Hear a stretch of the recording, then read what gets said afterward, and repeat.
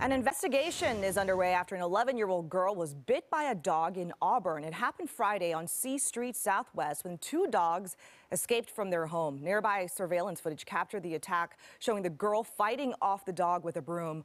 Auburn police telling Fox 13 that as officers were responding, they also had an encounter with the dog.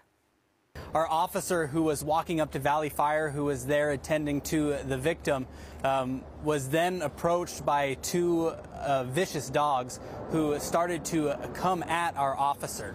Now, the officer tried backing away. He pulled his gun, um, but the dogs kept on coming, and that's when he fired at the dogs as they got pretty close to him to protect himself from being bit by the dogs that had just previously bit uh, this 11 year old girl.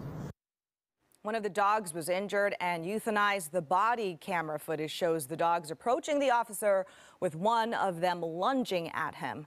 The 11 year old girl needed stitches and is expected to recover from her injury.